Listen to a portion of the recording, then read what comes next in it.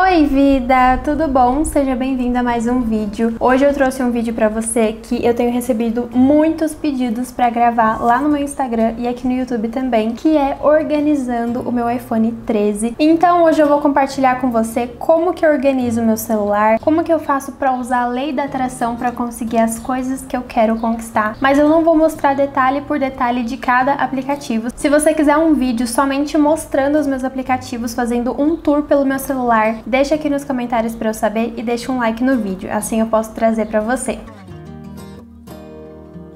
Ele já tá super organizado, mas eu vou bagunçar ele inteirinho e fazer uma organização totalmente diferente dessa daqui, para poder passar várias dicas para você, para você também conseguir organizar o seu celular e otimizar ele para conseguir atrair tudo que você quiser na sua vida, tá? Então é assim que ele tá atualmente. E uma coisa que eu quero muito mostrar para você é como a lei da atração funciona na nossa vida. É real, se você tem dúvida, presta atenção. Aqui na primeira página do meu celular, eu tinha colocado uma foto do iPhone 13, quando eu ainda tinha o iPhone 11, para poder trabalhar a técnica da visualização da lei da atração. Então eu coloquei aqui uma fotinho do iPhone 13 que eu queria. E olha só, hoje eu tô conseguindo gravar esse vídeo aqui para você do meu iPhone 13. Então isso é para mostrar que realmente a lei da atração funciona, tá? E eu vou te ensinar a fazer isso daqui hoje.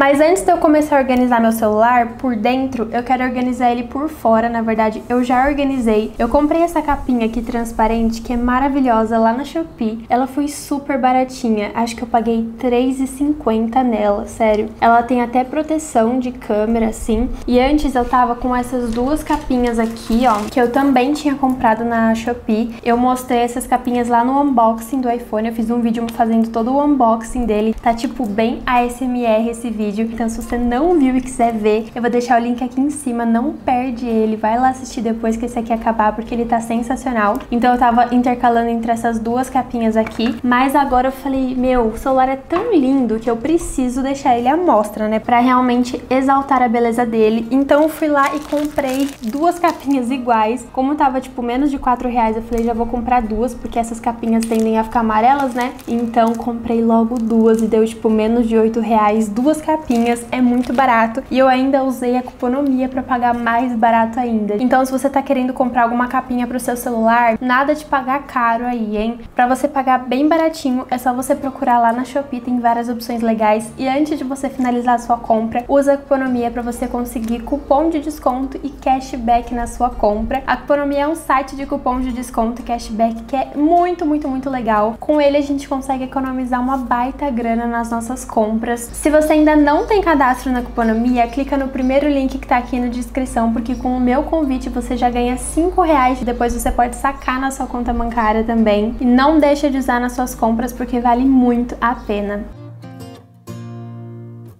Então agora que o nosso celular já está organizado por fora, colocamos uma capinha maravilhosa nele, é hora da gente organizar por dentro. Eu já baguncei ele aqui pra gente conseguir fazer uma nova organização. A primeira coisa que eu sempre faço é colocar uma tela de bloqueio bonita e uma tela de fundo dos meus aplicativos, mas dessa vez eu não vou mudar porque eu gosto muito das que estão atualmente. A minha tela de bloqueio é essa daqui com quatro fotos minhas que eu postei lá no meu Instagram. E eu gosto muito dessas fotos, então eu vou manter assim, vou deixar desse jeito mesmo por enquanto. E a foto de fundo também eu vou manter, que é essa daqui que ela tem é um lençol, sabe? É uma foto muito linda, com um pouco de relevo assim, mas ao mesmo tempo ela é super clean, então não polui o celular. Mas se eu fosse trocar minha tela de bloqueio, eu entraria no Pinterest e procuraria background aesthetic, alguma coisa do tipo, ou wallpaper aesthetic, e eu ia fuçando aqui até encontrar alguma legal. Foi assim que eu encontrei essa daqui de lençol. Se você quiser usar alguma das imagens imagens que eu vou usar aqui nesse vídeo, eu vou salvar elas todas lá no meu Pinterest e vou deixar o link do meu Pinterest aqui embaixo. Então entra lá e confere, porque todas as imagens que eu vou usar aqui vão estar lá. Depois de escolhido o plano de fundo, a próxima coisa que eu sempre faço, que eu acho muito importante, é fazer uma limpa nos nossos aplicativos. A gente sempre tem aqueles aplicativos que a gente nunca usa, que estão ali só ocupando memória, só poluindo a nossa identidade visual do celular. Então eu acho muito importante a gente apagar esses aplicativos e manter manter somente aquilo que realmente for necessário pra gente. Feito isso, agora a gente vai começar a montar as nossas páginas. Aqui no meu celular eu sempre deixo duas páginas, que é essa principal e uma secundária. Na página principal eu gosto de colocar as coisas relacionadas ao trabalho, porque eu uso meu celular muito para trabalhar. O que eu mais faço com ele é relacionado ao meu trabalho, então assim, deixando na primeira página fica muito mais fácil para mim para eu ter acesso. E na página seguinte, eu sempre gosto de deixar jogos,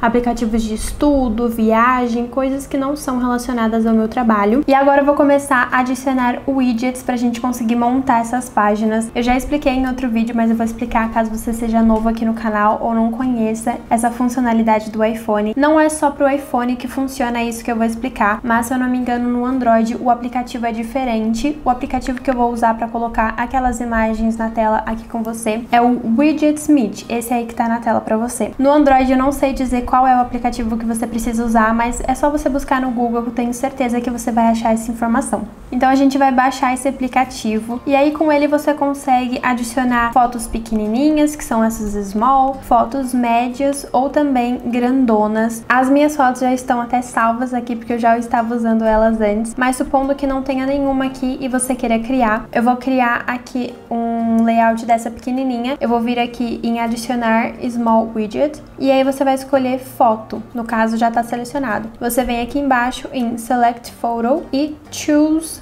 Photo. E aí você vai selecionar a foto que você quiser. Eu vou voltar aqui em cima em Back e vou clicar aqui em cima em salvar. Já vai ficar salvo aqui como número 10. O que eu preciso fazer é arrastar o iPhone aqui para esquerda, clicar em editar, vir aqui em cima nesse mais e aí eu vou achar o widget Smith que normalmente é o último, né, por ser W. E aí eu vou escolher aqui qual é a opção que eu quero adicionar. Eu quero adicionar uma opção Small. Ele já adicionou direto para minha foto aqui, mas caso o seu não tenha adicionado direto, o que que você faz? Você clica e segura aqui na foto, vem editar o widget. O meu celular tá em inglês, tá? Mas não se preocupa porque é super tranquilo de acompanhar aqui mesmo mesmo se o seu tiver em português ou em outra língua. E aí aqui você consegue trocar a foto. Então se você quiser colocar a foto 8, ele vai ficar para mim a foto 8. E aí você escolhe a foto que você quiser, né? Você vê lá o número que é a foto que você colocou e aí você consegue colocar aqui na sua tela e movimentar isso para onde você quiser. Então se você quiser deixar nessa tela aqui, você consegue. Você consegue colocar entre os aplicativos aqui na posição que você quiser. E você pode inclusive colocar nessa página aqui a esquerda também. Então essa função é muito legal. Eu vou começar a adicionar aqui as imagens que eu quero colocar e é aqui que eu uso para conseguir atrair as coisas que eu quero, para manifestar as coisas que eu quero através da lei da atração, como foi o caso do iPhone 13. E isso vai te ajudar a atrair essas coisas para sua vida, porque quanto mais você pensa ou você vê aquilo, você lembra daquilo, maior é a chance daquilo se tornar realidade. Então por isso que é legal você ter ali no seu celular para você estar tá sempre olhando para aquilo, sempre lembrando daquele sonho seu e manter ele vivo aqui na sua cabeça. Eu também gosto de adicionar o aplicativo Tempo na minha tela inicial para eu saber quantos graus tá, se vai chover, se não vai. Então eu gosto de manter a previsão ali bem fácil para mim. Então para adicionar ela é o mesmo processo. Eu vou aqui na esquerda, editar, adicionar e vou encontrar o aplicativo da previsão do tempo do iPhone, que é esse daqui. Vou clicar nele e eu tenho as mesmas opções para conseguir adicionar. Tem a pequena, tem a média, que era que eu tava usando antes, não sei se você se lembra, e tem a grandona também. Eu gosto de colocar a